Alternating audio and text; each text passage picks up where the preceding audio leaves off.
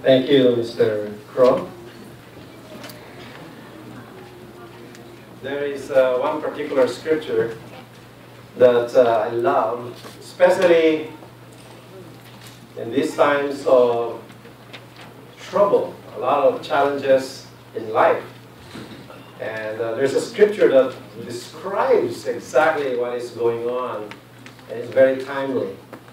I like to go to uh, Romans uh, chapter 8 in verse 22, so that you can check this scripture in Romans 8, verse 22.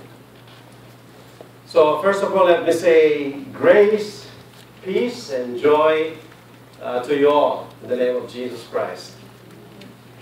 Verse 22 of Romans 8 says, We know that the whole creation has been groaning in labor pains until now. And isn't that a good description of what is happening now?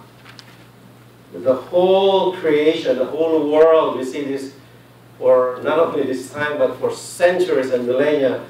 The whole creation has been groaning in in labor pains until now. I like this uh, particular metaphor, this analogy where it kind of shows uh, like a mother giving birth.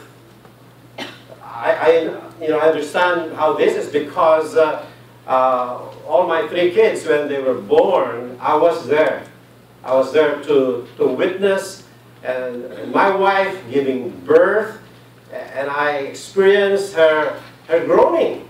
Ah! You know, giving birth, you know, and as the husband is uh, trying to console her, um, there's this groaning of labor pains, and I've seen it, so I understand what this means, and, and of course, after the birth, right, this groaning pains is, is temporary. When, when the baby comes and she holds the baby, that, that pain is forgotten, and there's a smile on her face, and it says, I understand that the whole creation has been groaning in, groaning in labor pains until now. What is this? And not only the creation, but ourselves. We ourselves who have the first fruits of the Spirit. This refers to believers, this refers to Christians. Even us who have the fruits of the Spirit grown inwardly while we wait for the adoption the redemption of our body. So even us, we, I mean, haven't you experienced that? When we go through our own challenges and, trials and difficulties, and we, we don't have the words to express, but uh, we, we groan uh, and hoping for some kind of redemption. Uh, for verse 24, for in hope we were saved.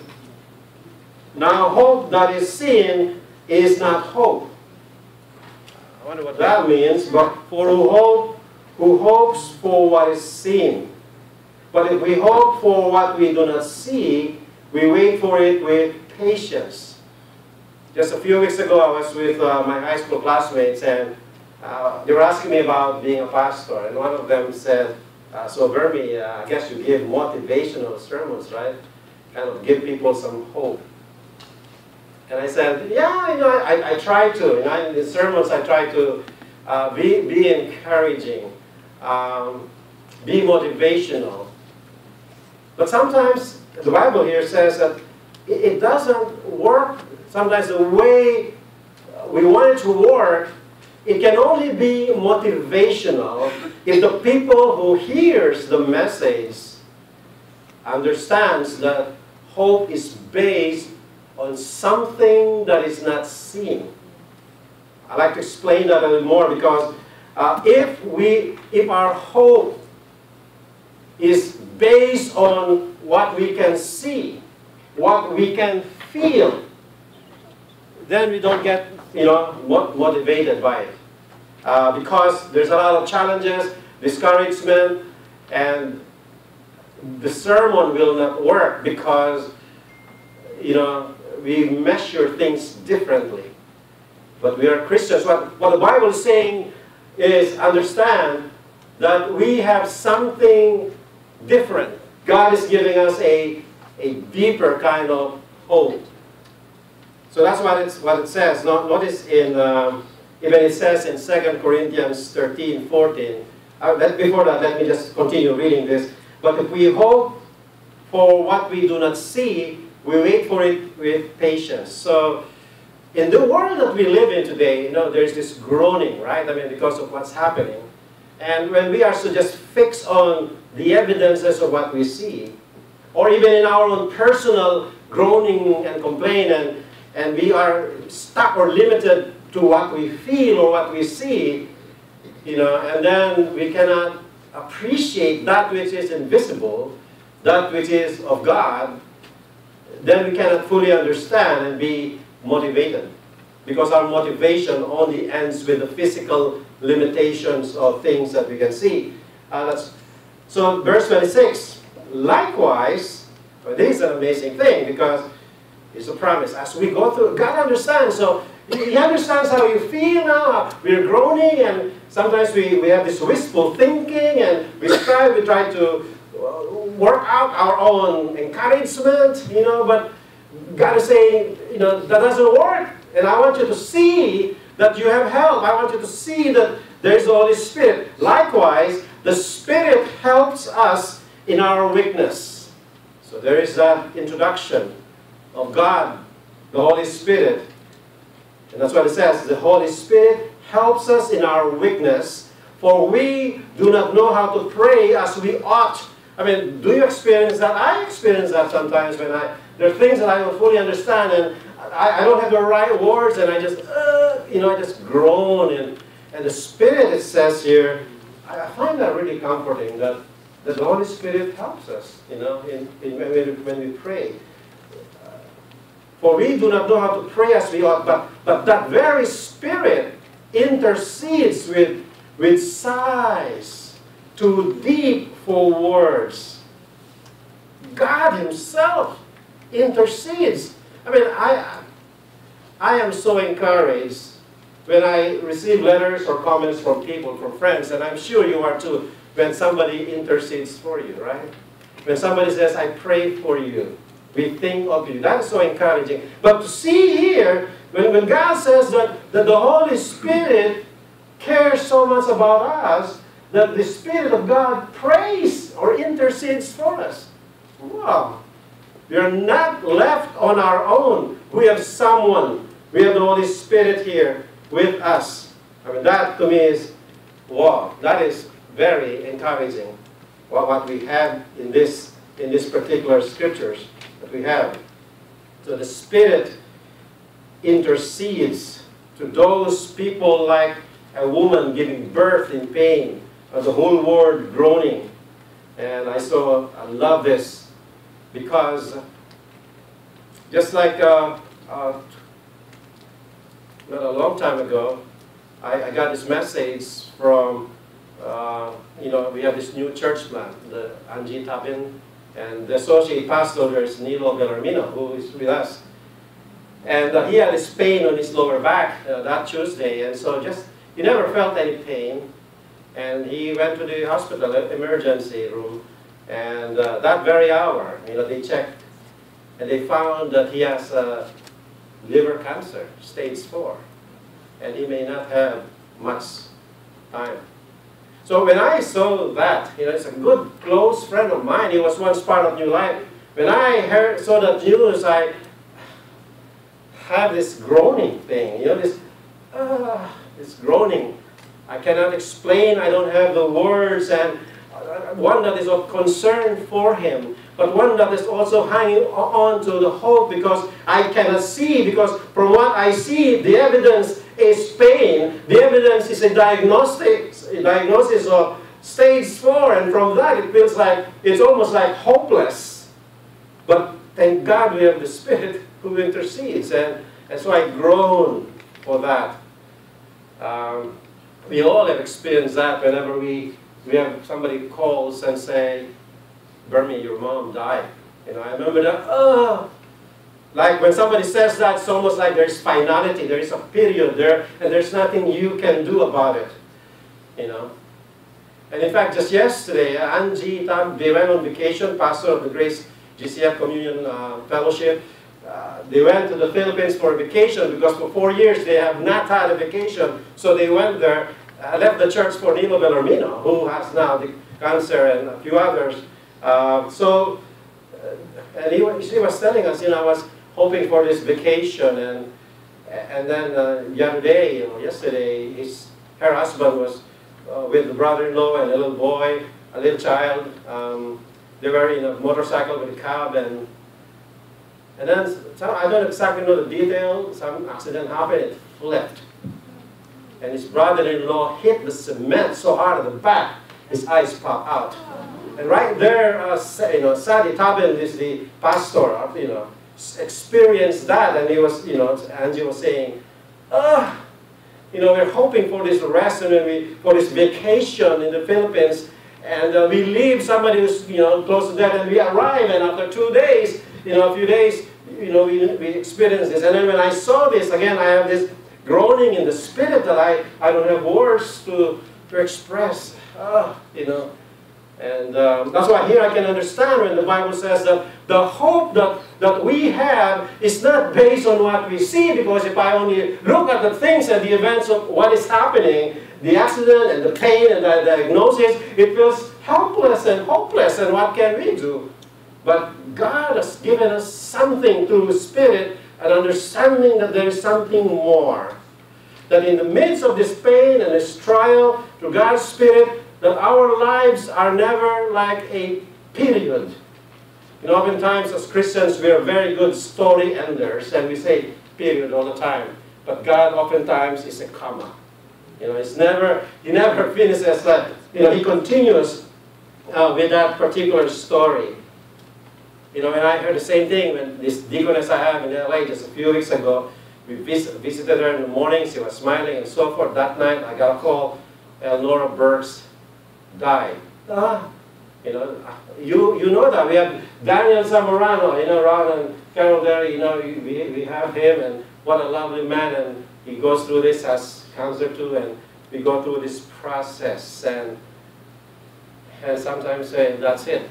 It's a finality, uh, the person is dead. Is that the end of the story? Now I propose to you that Pentecost tells us otherwise.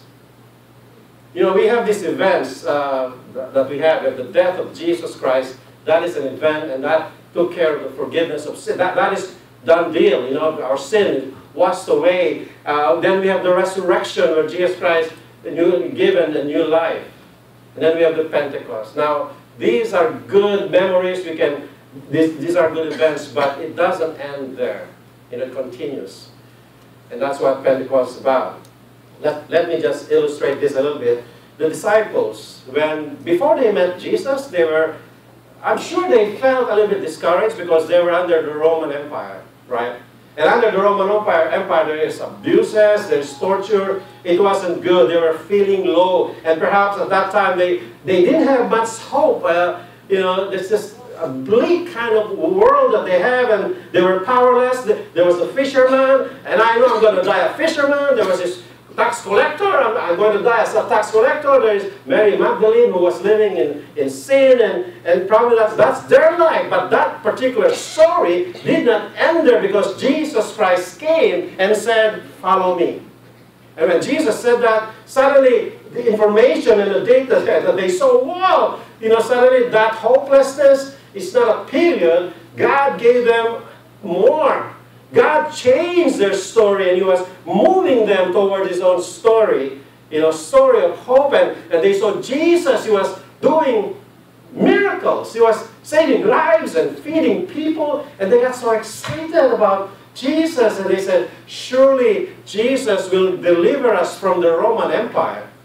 We can be colonels and generals and wow, you know, Suddenly their life story changed. They got so excited. They were looking at the evidence, and the evidence points to the fact that, yeah, Jesus fits our story where he's going to overthrow the Roman Empire, that particular event. But then, Jesus Christ was arrested. Jesus Christ was put in jail. He was tortured. So this narrative, this, this hope that they have based on what they saw about that, began to change and, and then They, they got helpless and felt hopeless, and they ran, started running away again and discouraged. You know? And then on the third day, Jesus rose again. Suddenly the whole thing began to change. The whole thing began to change, and they began to understand that hope is not really based on those moments and events, but something better, something, not just the death. The death which tells us of the forgiveness of sin, not just the resurrection, but that God continues even now, as He has this eternal purpose for us, which is already assured of, but even in this present life, the Holy Spirit works. The Holy Spirit is sent to us as the comforter, as the one who can intercede for us. You know, it says in Scripture where we have the fellowship with the Holy Spirit that, that God is there and alive that Jesus Christ is more than just a miracle worker. Jesus Christ is more than just a deliverer, you know, not that empire, but uh, something deeper, something more. And that's what the Spirit has for us. Now, don't get me wrong, those pain and, and grief and suffering, those are real.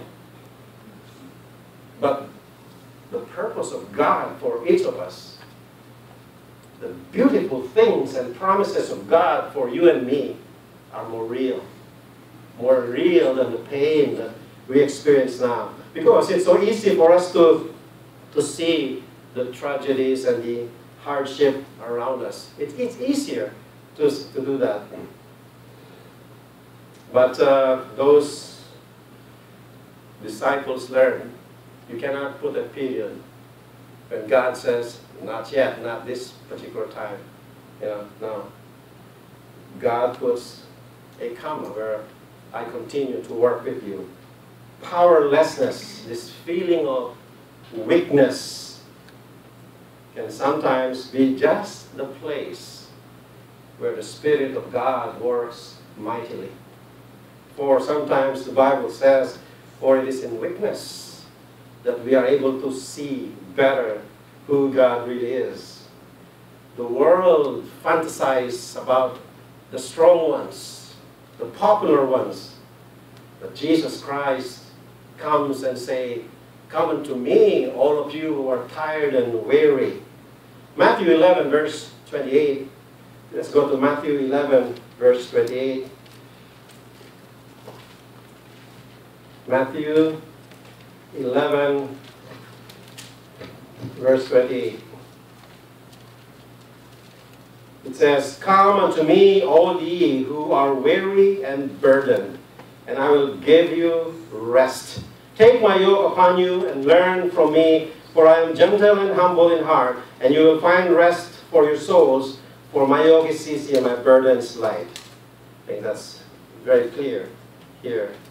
Matthew 20, verse 16. For those who are in this world that are groaning in pain and suffering, those who have stage four, those who are unemployed, those who have broken relationships, whatever it is, where you think that your life has already ended, where you think your life is already a period, that's when God enters and says, no, no, I'm not done with you. I send you the Spirit there, and, the, and I continue to be there for you. That's what it says. Matthew 20, 20 verse 16. Uh, let me read that. Matthew 20, 16. So the last will be first, and the first will be last. So he, even this is saying that, you know, for God, some of you, you know, these people who think, oh, oh my, I'm the last. You know, it's too late. I mean, we all this thinking, you know, stinking thinking, this this thinking that can make us feel so discouraged. For God says, no, no, no, no. With my economy, uh, the last will be first. I mean, I, I do care. That's what God says. God's strength is perfect in our weaknesses, and the Spirit of God intercedes. The Holy Spirit intercedes. God is writing. God is still sighing and groaning loving us into redemption. It's never done. It's never done. So, you know, Pentecost uh, is a day in which the church was born. That's how we look at it. Because the outpouring of the Holy Spirit came and made evident at the time by the tongues of flames and rushing wind and creates a community of believers and saints empowered by all of them and sharing the goodness of Jesus to the community and, and to the world. That's, that's why we say it's the birth. And, and so there those two are connected, the coming of the Spirit and the birth of the church because that was made possible. So when we celebrate Pentecost, we celebrate the coming, the introduction, the coming, and the greater understanding of the Spirit. But it's not just there as an event for us to remember. You know, festivals have meanings and we commemorate them. But when we, we, we when we stop at only at the commemoration and the remembrance and forget that they have present personal application, that's when we, we go wrong. Because these have ongoing. Pentecost is not done. It is not over. You know, the Bible begins with the book of Genesis and ends with the book of Revelation. And in the middle, right there, is the book of Acts. And the story of the Acts is the Acts of the Apostle, the Acts of the Holy Spirit. And it's still ongoing. The work of the Spirit is ongoing even now. And as it says that the whole world is groaning, and even personally it says all of us are groaning, but God sends the Spirit and He intercedes for us. The Pentecost event is happening now, not only in the world, not only in the church, but it is, it is happening in your own personal life. I mean, do you, do you hear that from the scripture? Maybe the better question is, do we believe that?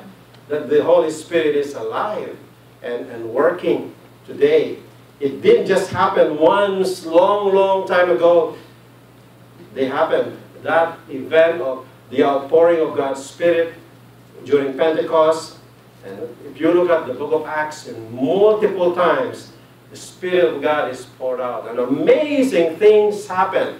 People coming to faith. The church growing. When you see all these miracles, we see all this work of the Spirit continuing on, continuing to the church and, and until now. It never ended. Sometimes we can get discouraged maybe when a particular church, so there's an attack at this church, oh, we are, you know, we close this church because they have to run away. I mean, we look at history, but it never ends. God continues. And, and it, we experience the same thing when we have to consolidate churches. And, you know, I understand, you know, I love, you know, people with New Life and Beaumont. There was a time when what will happen to us? We don't have the ministers, and is this going to be a period? It's going, there were all these questions about, and we were groaning, God, what, is this the end of our congregations? What happens now? But but as we have seen, the Holy Spirit is not done with us. There is more for us that the Spirit has prepared. We may not fully understand it, but there is something. And uh, we've seen all of this work, and it, does, it does not stop with the book of Acts. There's all kinds of history uh, as, we, as, we, as we see. So Pentecost is not over. And uh, we should not be surprised by that because Jesus himself made an astounding statement that, that I find very difficult to understand when he said in John 14, verse 12, Truly I tell you, the one who believes in me will also do the works that I do, and in fact I will do greater, uh, and in fact will do greater works than these. You know, that's, whoa, you know, that the work of Jesus through the Holy Spirit continues on, and that will be amazing things that God will do. We're not talking about salvation, we're talking about the continuing relationship we have with God and, and what He wants to do so that the gospel can continue to, to progress and, and to move on. So, as Christians, we, we believe in the Father, the Son, and the Holy Spirit. We are a people this, we are a people as a church whose story is not uh, finished. A people for whom God says uh, there is more. Daniel Zamorano, you may have died, but God is saying He has more. You will just move on into another level of existence, but God has so much more for Daniel. God has so much more for Jude Payabo's dad, and it never ends, and even now it does not end that way. You know, that we see that in our own life. I remember when I was when I was young in elementary, I was, oh, I just want to be in high school, you know. I see my brothers, they're so happy. It's, oh, high school life is it, and after that, I'm just happy if I reach high school. And then we went to high school, eh, you know, it's a lot of fun. And then, oh, college. Oh, if I just can go to college, I would be so happy. You know, life did not end with high school, did it? No, not. It's never a period, but it's a continuation. We went to college, and after college, you know, oh, I want to get married, you know.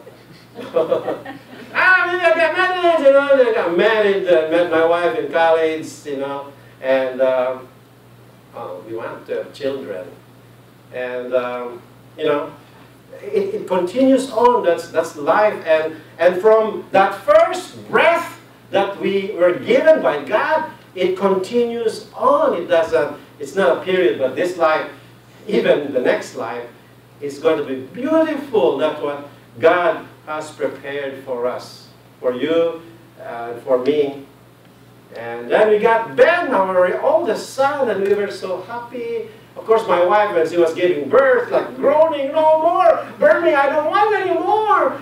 And, uh, and then when the baby came out, and it's a cute baby, and my wife said, one more? and it continued, the second one, the third one, fourth one, and the fourth one I said, no more. you know. But you know what I mean is that it, it is a continuous uh, joy uh, with, with God. Within, within our suffering, there's always more. God does not abandon us. When we think our lives are hopeless because we are older, because we are sickly, when the things that we see don't give us hope, there is the Holy Spirit right there in us, interceding for us. You know, right there, never abandoning us. And He doesn't ever, ever neglect us. It's never what we see. The disciples saw Jesus, uh, even in, in the wilderness. Whenever they see something, they get their hope, and then they lose something, they rebel, and then they see another hope. It's kind of up and down, and in the same way, even in the book of Acts, there's those people who receive the Spirit and even witness tongues of flame and, and conversion. But if you know the story of the church, you know that it's not always nice and dandy. You know, there's a lot of persecution. So if, if their hope is only limited to the physical, you know, things that we see, then this message is going to be really depressing. Because this message about Pentecost is not about the things that we, we see and the evidence, but it's about something deeper that God has for each and every one of us. So deep that even transcends our own death. That even if, you know, like what Shadrach, Meshach, and Abednego, they have this, oh, we're going to be thrown in all globe, and there's going to be a period, you know, that's it. That's the end. That, that, cut, you know. but God, then they were having this hope, hope that, well, we know God is going to rescue us, you know. And this is what makes Christian hope different. You know, the wistful thinking is, God is going to rescue, oh, I wish God is going to do this, going to rescue us. And the deeper hope is, but if not, O King, we will still continue our relationship with God. You know, I'm not removing the fact that God heals today. That God can totally resurrect or resuscitate the dead, right? But if not, it's okay. It's okay. And, I, and your life has not ended. My life has not ended because God has something more some of you have experienced, and I, even in this, I see the Pentecost event happening, not only with our congregations, but, you know, if I may use Mr. Lipros, Roger Lipros, who was so faithful in the church and has served and retired and even had this ailment. You know, people might say, period. You know, but no, God say, no, Roger, it's a comma. There's more. So God has more, and it continues on. It never stops, even with the last breath that we have. And he has been, even his retirement, continued on serving, doing whatever he can, serving with Bangladesh, serving in the church. And he was even saying to me, I think I'm strong now and I can speak. You know, uh, Pastor Neil the same way. He retired, but he's never a period. He's still a comma. you know, he's still going on. And even when he goes, people of God, nothing stops them from doing work. Even if we are on our deathbed, we can still continue on praying and, and hoping, hope, you know, a lot of you, Barb Edwards retired but continues on. Doesn't mean to say that you retired, you retired. You know, retired simply means you change your tires. well, that's a, an attempt to joke. so, that, you know, there is a reality to so even when we look at this event, this, this uh, event that we have, the death of Jesus Christ, it has some, a personal application for us. You know, yes, through the death, everything is accomplished, tetelestai. But we can still ask, and it's okay to ask, okay, are there things in my life that needs to be put to death? You know, doesn't mean to say that, ah, I'm saved, so therefore we continue living, you know, our own lives, and but is there, is there something where we can surrender them to God? And then the resurrection, perhaps we can ask the question, um, is there something in my relationships that perhaps needs a new life? You know? Is there something in my, the way I look at this? Sometimes we have this pet theology that we hold on to, legalistic or whatever, and we don't want to get rid of it. Perhaps God wants you to look at it from a new life.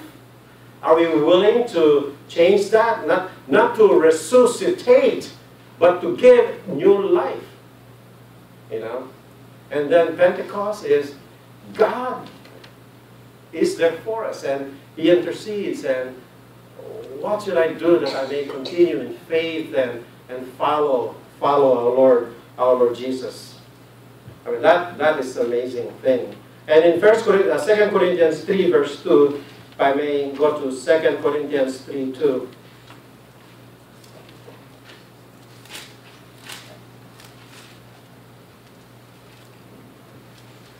You yourselves are our letter, written on our hearts, known and read by everybody. Verse 3 you show that you are a letter from Christ. The result of our ministry, written not in ink, but with the Spirit. Oh, the Spirit of the living God. Can, you see that? That Jesus Christ is the author of your life. Isn't that amazing? Annette Williams. The story of Annette Williams, written by Jesus Christ through the Holy Spirit. Who, everybody here, your story, Mike Delotte, is written by J.K. Rowling. I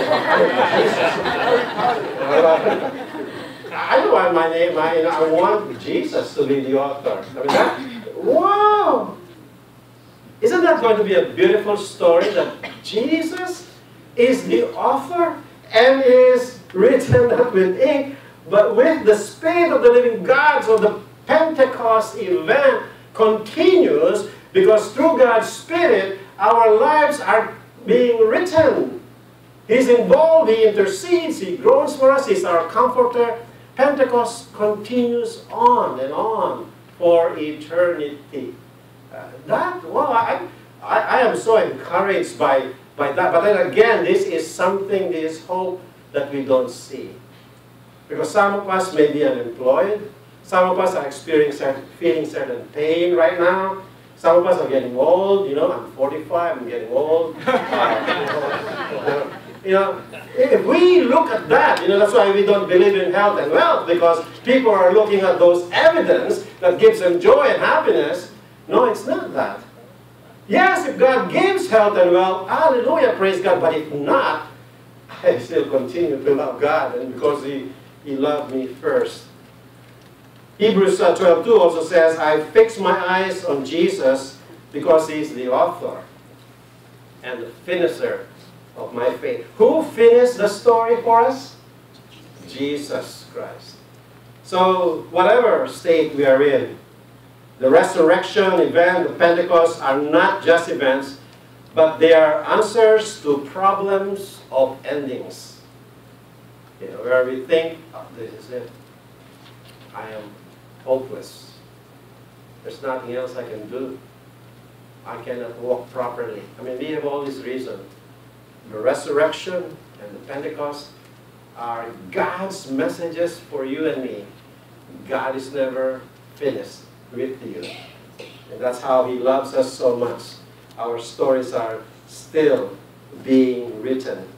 That's what's beautiful about, about this. And um, so Jesus Christ promised the Holy Spirit for you and uh, for me. And the Spirit is active. So I, before I close, I have a suggestion to make for me and for you. I see these Pentecost moments in our congregation. I see it with the kids singing here, and I see it in the congregation who understands that even though they're kids and they may not be perfect in the way you might think, but your love and your understanding is there. I, I, see, I see the work of the Spirit expanded, this vision of that work, and you are all part of that. You know, the Spirit falls fresh on us. And so I invite and challenge you to see in our congregation and to see in your individual lives this new Pentecost. Open your eyes and see. See that what God is doing. I invite us to share with each other, share in our conversation this coming week and in the future how you see the Spirit being active in your life. Maybe you can talk about it, you know, during meal. How is the Spirit active in your life? So I invite you to wonder you know, and be curious bit about, I wonder the future. I wonder what and when and where the next Pentecost will be in my congregation, in our denomination, in my personal life, in my family. God cares about our families. Where might this community of faith, this grace life, how will it respond to God's call as we are empowered by the Holy Spirit? You know, think about it. However you decide, whatever, you know, just that's something that we can consider and think about. So let's not just uh, talk about Pentecost, but let us trust the next Pentecost event that is going to happen in your life, in your family, and in this congregation. And, uh, and I see this right. I mean, what was written in Romans. The world is full of trouble. We also groan. But don't get discouraged. God loves you dearly and cares for you. He is writing a beautiful story written by Jesus Christ. And it's going to be very beautiful. Amen? Amen. Thank you, God, for sharing with us today that the day of Pentecost and what happened, Lord God, continues to happen. And even in our, in our church and in our personal lives. Lord, help us to see that and be encouraged. Lord, that you never leave us you never forsake us. And help us also look into the future, Lord, on what you plan to do, so that we can take part in what Jesus Christ will do in our communities, in our families. In Jesus Christ we pray. Amen. Amen. Amen.